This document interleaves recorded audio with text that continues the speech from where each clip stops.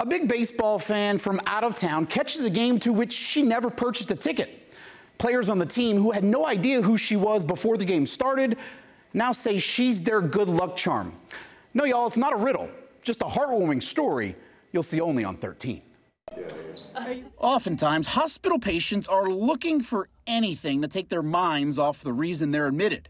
For Jaelyn Kirby, that meant simply looking out the window. I had no idea this would happen, and this is all surreal. The 16 year old has a rare genetic condition called Marfan syndrome.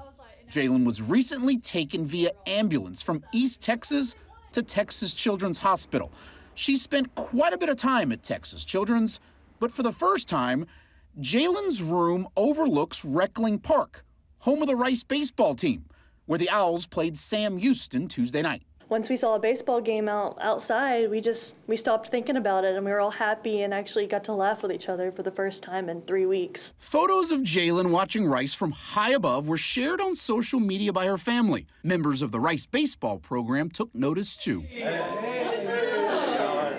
ABC 13 is the only media outlet inside the hospital when three Rice baseball players, J.D. McCracken, Kite McDonald, and Parker Smith, stop by to meet Jaelyn and drop off jerseys, hats, and autographed baseballs to who the Owls are calling their good luck charm.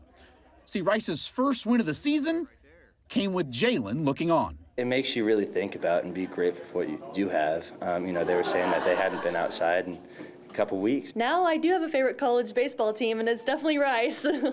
Not only does this meetup take place early in baseball season, giving Jaelyn plenty of time to root for her Owls, but February is also Marfan Awareness Month. We have a really comprehensive team to care for kids with Marfan syndrome. We can diagnose it at birth, and they have it all the way through the course of their lifetime and have to deal with a lot of different issues. Marfan syndrome is a chronic disorder Jaelyn will forever navigate.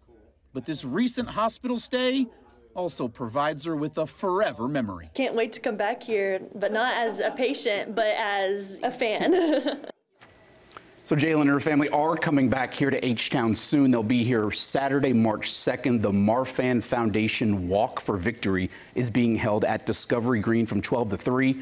At 4.30, the Owls play Stanford. The family's going to go to the game and cheer on their Owls. Something tells me she won't be watching from the hospital that day. Yeah. She'll have a oh, much no. better seat.